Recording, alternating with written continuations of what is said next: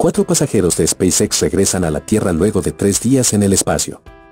La cápsula Dragon resistió el vertiginoso regreso gracias a su escudo térmico y luego fue frenada por cuatro enormes paracaídas.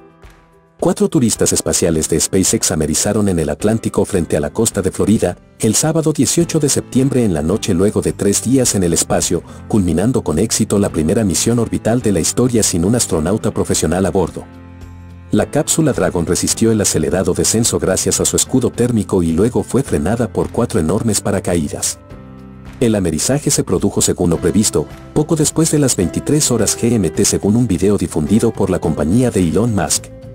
Ha sido un viaje extraordinario para nosotros, y no ha hecho más que empezar, dijo el comandante a bordo, en este caso el novato multimillonario Jared Isaacman, poco después de tocar agua. Un barco de SpaceX recuperó inmediatamente la cápsula antes de que se abriera su escotilla y los turistas espaciales, sonriendo ampliamente y agitando los brazos en el aire, salieran uno a uno.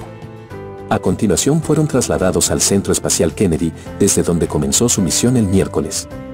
El objetivo expuesto de la misión, bautizada como Inspiration 4, era marcar un punto de inflexión en la democratización del espacio, demostrando que el cosmos también es accesible para tripulaciones que no han sido seleccionadas a dedo y entrenadas durante años.